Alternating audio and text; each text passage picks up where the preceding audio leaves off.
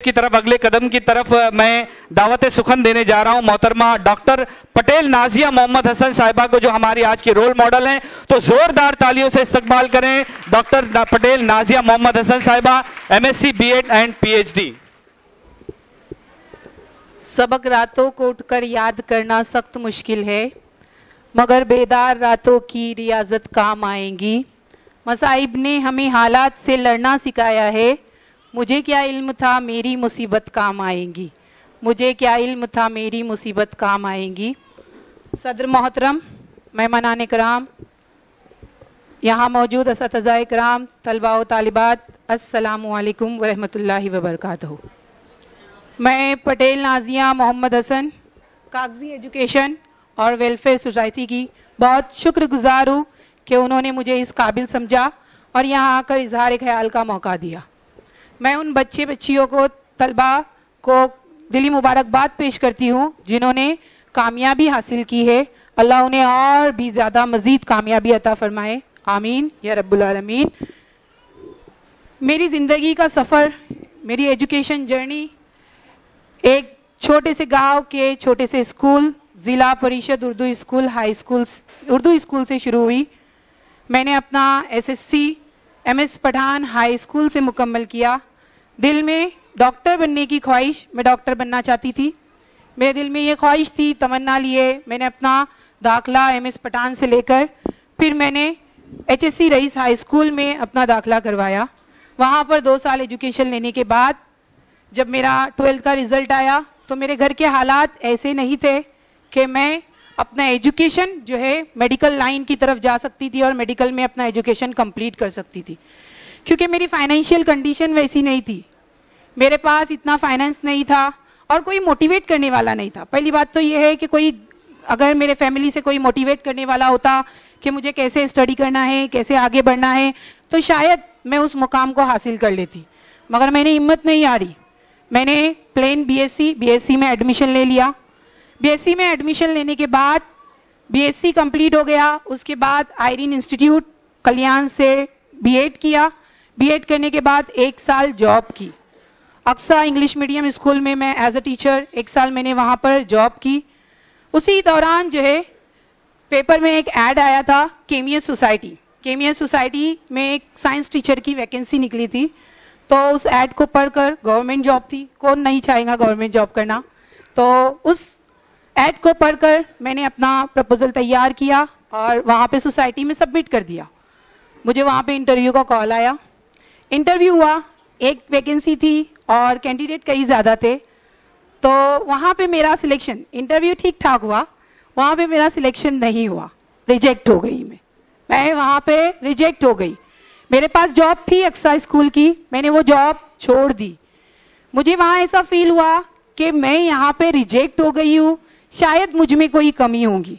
या मेरे में वो एबिलिटी नहीं है कि मैं बच्चों को एजुकेशन उस तरह से एजुकेट कर सकूँ, जित जितना उनका हक है। तो मैंने अपना जॉब छोड़ दिया।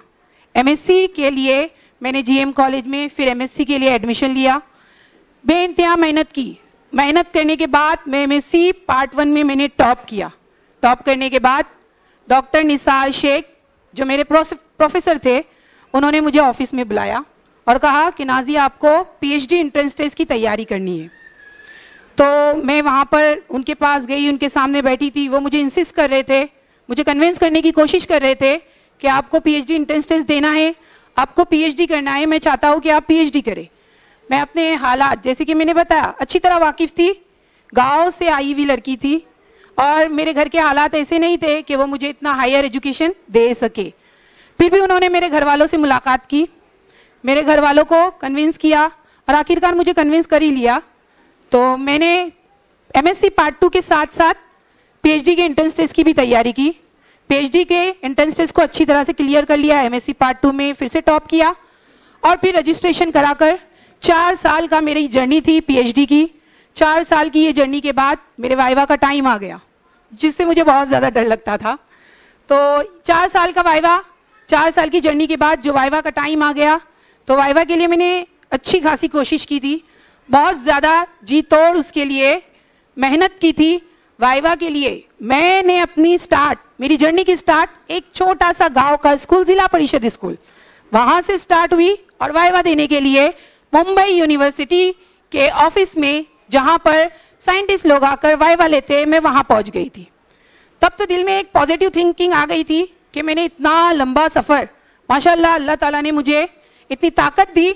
मैंने अच्छे खासे, नमराज से अच्छी कामयाबी हासिल करके ये सफ़र यहाँ तक का तय किया है इनशाला अल्लाह रब्बुल इज़्ज़त आगे भी मुझे कामयाबी अता फरमाएगा।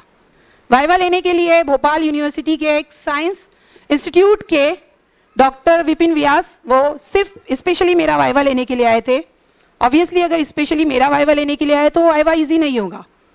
काफ़ी टफ होगा। उनके क्वेश्चन भी अच्छे खासे वो प्रिपेयर करके आए होंगे क्योंकि उनके पास मेरा थीसिस छः महीने तक था। छः महीना उन्होंने मेरे थीसिस को स्टडी किया था। उसके बाद वो मुझे क्वेश्चन करने वाले थे। मेरा वाइवा होने वाला था। तो हम लोग वाइवा के लिए यूनिवर्सिटी पहुँचे। वहाँ पर जाके वाइवा मेरा शुरू हुआ डेढ़ घंटा वाइवा देने के बाद। वो प्रोफेसर इस यूनिवर्सिटी के ऑफ़िस में चले गए। यानी उन्होंने मुझे अपना रिज़ल्ट नहीं बताया। मेरे दिल में अभी भी एक अजीब सी उलझन थी। क्या बता मेरा वाइवा क्लियर हुआ है या नहीं। मेरा रिज़ल्ट क्या आएगा? वाइवा का रिज़ल्ट ऑन द स्पॉट मिल जाता है। वहाँ पे आपको फ़ौरन पता चल जाता है कि आपने वो वाइवा क्लियर किया है या नहीं। डिग्री बाद में आती है। वो ऑफ़िस में चले गए, उनको कुछ ऑफिशियल वर्क था। ऑफिशियल वर्क करने के बाद वो एक पेपर लेकर बाहर निकले और उन्होंने मुझे कॉन्ग्रेचुलेट किया। कॉन्ग्रेचुलेट डॉक्टर नाजिया ऐसा करके मुझे कॉन्ग्रेचुलेट किया, जहाँ पर उनके पास जो पेपर था, उस पेपर में यूनिवर्सिटी से वो प्रिंट पेपर मिला था जिसमें लिखा हुआ था कि आई एम एलिजिबल डॉक्टर की डिग्री के लिए मैं इलिजिबल हूँ. वो पेपर लिए मैं वहाँ से दौड़ते हुए अपने वालिदेन के पास गई, जो यूनिवर्सिटी बिल्डिंग के नीचे खड़े हुए थे। जारो कतार रो कर गले लगकर उनको जारो कतार रोई, क्योंकि मेरी जो जर्नी थी वो बहुत ही ज़्यादा डिफ़िकल्ट थी। जब मैंने एसएससी के बाद भिवंडी आने की कोशिश की और भिवंडी से अपना एजुकेशन कंप्लीट करने की कोशिश की, क्योंकि मुझे गाँव छोड़ना था। गाँव से बाहर निकलकर एजुकेशन कंप्लीट करना था। गाँव वालों के लिए आसान नहीं होता स्पेशली लड़कियों के लिए, कि वो गाँव से बाहर निकले और एजुकेशन हासिल करे। लोगों ने कदम कदम मेरी औकात मुझे याद दिलाई। मेरी औकात क्या है? मेरी चादर जितनी है मुझे उतने पैर फैलाना चाहिए। यह औकात मुझे कदम कदम याद दिलाई जाती थी। लड़की थी, बहुत ज़्यादा चुभने वाले अल्फाज, उसके तीर मुझ पर छोड़े जाते थे। मैंने सब्र किया। मेरे पैरों में बहुत ज़्यादा कांटे चुभे ये बहुत ज़्यादा दिल जख्मी हुआ था। फिर भी मैंने कोशिश नहीं हारी। मैं कभी कभी जो है डीमोटिवेट हो जाती, फिर भी अपने दिल को समझाती, नहीं नाजिया, तुझे डीमोटिवेट नहीं होना है। तेरी मंजिल अभी बस आने वाली है तो हिम्मत मत हार। बस अपने आप को, मैं खुद ही अपने आप को मोटिवेट करती थी, ताकि मैं अपनी मंजिल को पालूँ, और मैंने मंजिल अपनी पा ली वो वाइवा का पेपर जो मेरा रिज़ल्ट था, जिसमें मैं एलिजिबल थी पीएचडी डिग्री हासिल करने के लिए, वो पेपर लिए मैं अपने गाँव में आई। और गाँव वालों ने मेरा इस्तकबाल भी किया। दिल खोलकर, जो मुझे अपनी औकात याद दिलाते थे, वो सबसे पहले मुबारकबाद देने के लिए मेरे घर पहुँचे थे। वहाँ पे मुझे कुछ लोगों का कहना यह होता है कि गरीब के बच्चे हैं, वो आगे नहीं बढ़ सकते, वो पढ़ नहीं सकते, उनके पास इतना फाइनेंस नहीं है। तो गरीब के बच्चे तो क्या हुआ? क्या गरीब के बच्चों को अल्लाह नहीं पालता? क्या गरीब के बच्चों को अल्लाह ताला ने ज़िंदगी नहीं दी है? उनके साथ उनका अल्लाह है। और वो जो चाहे वो कर सकते, कामयाबी उनके कदम चुमेंगी। मेहनत करेंगे तो मेहनत से क्या नहीं मिलता?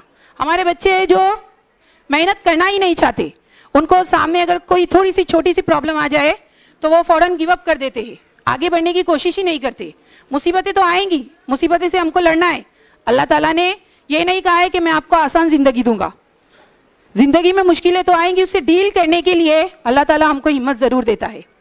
तो तुमको किस तरह से उस मुसीबत से डील करना है? मैं वो पेपर लेकर गाँव में आई, गाँव की पहली पीएचडी कहलाई। मेरे गाँव की मैं पहली पीएचडी थी, जिसने इतना आगे जाकर हायर एजुकेशन लिया और पीएचडी की डिग्री हासिल की। मैं बच्चों से सिर्फ़ इतना कहना चाहूँगी कि अगर कोई मुसीबत आती है तो वो वक्ती तौर के लिए होती है। वो सिर्फ़ आपको डराने के लिए होती है। आपकी कामयाबी में रुकावट डालने के लिए होती है। आप उस मुसीबत का जो है डटकर सामना कीजिए। आगे का रास्ता एकदम स्मूथली जो है आप पार कर सकते हो। मेरे पास फाइनेंस की जो है प्रॉब्लम थी। मेरे दिमाग में यही सवाल चल रहा था कि मैं पीएचडी करने जा रही हूँ, मगर मेरे पास उतना फाइनेंस नहीं है तो मैं अपने पीएचडी के अखराज कैसे मुकम्मल करूँगी? मगर मैंने मौलाना आज़ाद स्कॉलरशिप के अंदर अप्लाई किया। वो स्कॉलरशिप में मुझको ट्वेल्व थाउज़ेंड पर मंथ जितना साल मैंने पीएचडी किया, उतने साल के लिए ट्वेल्व थाउज़ेंड पर मंथ फेलोशिप मुझे हासिल हुई। जीएम कॉलेज की मैं वो पहली स्टूडेंट थी जिसको फेलोशिप मिली थी। और आसानी से मैंने अपना पीएचडी कंप्लीट कर लिया। बच्चों से सिर्फ़ इतना कहना चाहूँगी, उन लोगों की सोबत में ना रहे जो आपको डिमोटिवेट करते। तुम ये नहीं कर सकते, तुम वो नहीं कर सकते। तुम ऐसा नहीं कर सकते, तुम्हारी ये औकात नहीं है। ऐसे लोगों की सोबत में बिल्कुल ना रहे। अगर ऐसे लोग हैं तो वो महफिल से हट जाए। ऐसे लोगों का साथ भी ना दे और उनसे दोस्ती भी ना रखे। क्योंकि ये डिमोटिवेट करेंगे अगर वो बार बार ऐसे अल्फाज आपके कानों में बोलेंगे तो आपका माइंड सेट हो जाएगा कि सच में मैं नहीं कर सकता, इसलिए सामने वाला और सब लोग मुझे यही कहते हैं। ऐसा कभी ना करे। अपनी सलाहियतों पे जो है, अपनी सलाहियतें जो है उस पर यकीन रखे। अल्लाह के बनाए हुए कानून पे यकीन रखे कि मेहनत करोगे तो इसका रिवॉर्ड कहीं ना कहीं ज़रूर मिलने वाला है। मेहनत कभी जाया नहीं जाती। ज़िंदगी बहुत खूबसूरत है, मगर जब इसकी समझ आती है तो वो ज़िंदगी, बाकी की जितनी ज़िंदगी है, वो निकल चुकी होती है। समझ आने के बाद जितना हमने वक्त जो ज़ाय कर दिया, वो वापस नहीं आने वाला। बाद में हाथ मलने से अच्छा है कि पहले ही कोशिश करें। बाद में जो है, सोचते रहेंगे, काश मैंने ऐसा किया होता। वो काश अपने ज़िंदगी में आने ना दे। हाँ आप अगर हारते हैं, अगर आप जो है कहीं पे गिर जाते, लड़खड़ाते हैं तो अपने आप को संभालिए। वो हार बहुत ज़रूरी है ज़िंदगी में। ज़िंदगी में अगर हार मिल जाए छोटी मोटी तो वो बड़ी कामयाबी के लिए बहुत ज़रूरी है। मुझे वो रिजेक्शन मिला था। रिजेक्शन मिलने की वजह से मैंने, जो मैं बीएससी बीएड थी तो मैंने अपना एमएससी अच्छे नंबरात से कंप्लीट किया पीएचडी किया। मैंने पीएचडी कंप्लीट भी नहीं किया था एमएससी कंप्लीट भी नहीं किया था तो मुझे जॉब जो है वो घर पर आ गई थी। जॉब का लेटर घर पे मिल गया था और गवर्नमेंट जॉब मिल गई थी। तो यहाँ पर इसका मतलब ये है, कि आप अगर कोशिश करो तो कामयाबी कदम ज़रूर चूमती है। तो कामयाबी के लिए कोशिश करना ज़रूरी है। शॉर्टकट शॉर्टकट से कुछ नहीं मिलता। शॉर्टकट अपनाएँगे, सोचेंगे कि किस्मत है, किस्मत में होगा तो करेंगे। मैंने अपनी किस्मत खुद लिखी है। जिन टीचर्स को मैंने आइडियलाइज किया है, वो टीचर्स के साथ आज मैं स्टेज शेयर कर रही हूँ। और आपको पता है, मुझे रिजेक्ट करने वाले जो मेरा इंटरव्यू ले रहे थे, वो जियाउर रहमान अंसारी सर थे। उन्होंने ही मुझे उस वक्त जो है, आज से सात साल पहले रिजेक्ट किया था, मगर उनका रिजेक्शन बिल्कुल सही था। अगर वो रिजेक्ट नहीं करते तो शायद मैं आज यहाँ नहीं होती। तो मैं थैंक यू बोलना चाहूँगी कि उन्होंने मुझे रिजेक्ट किया और आज मैं इस मुकाम पर पहुँची। तो बस आपसे इतना ही करना चाहूँगी, ज़िंदगी है, ज़िंदगी में मुश्किल तो आती है। जाती जाती बस सिर्फ़ इतना कहूँगी कि बेअमल दिल हो तो जज्बात से क्या होता है? धरती बंजर हो तो बरसात से क्या होता है? है अमल लाजमी तकमील तमन्ना के लिए वरना रंगीन ख्यालात से क्या होता है? वरना रंगीन ख्यालात से क्या होता है? अल्लाह हाफिज।